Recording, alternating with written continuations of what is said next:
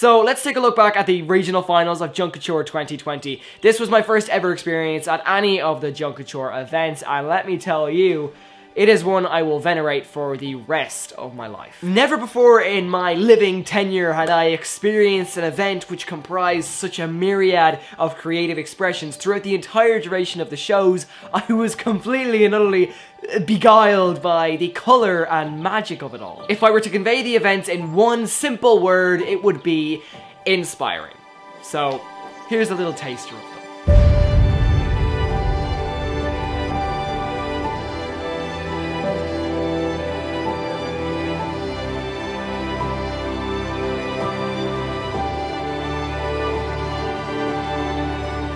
Well, I think everybody is so confident and uh, this is what I, you know, I try to absorb from them.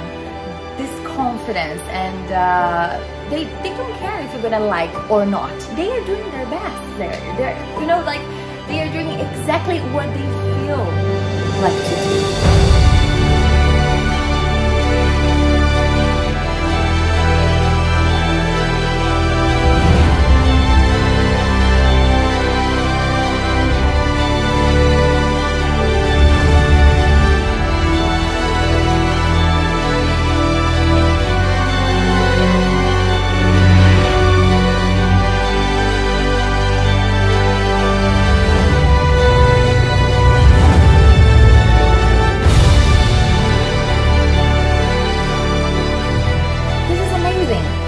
I take from them, you know, like this, all the energy, all the things that they do yeah. in the beginning, six months before, and then when they are there out, they're just shining.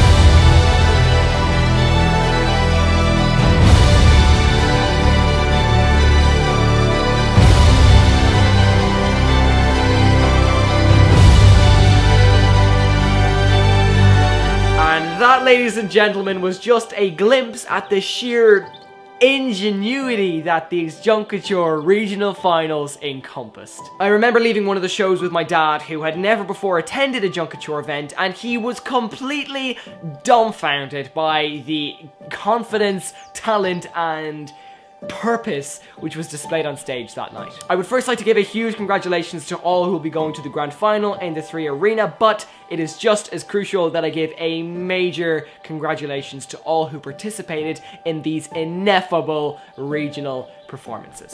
So well done, stay safe, and keep shining.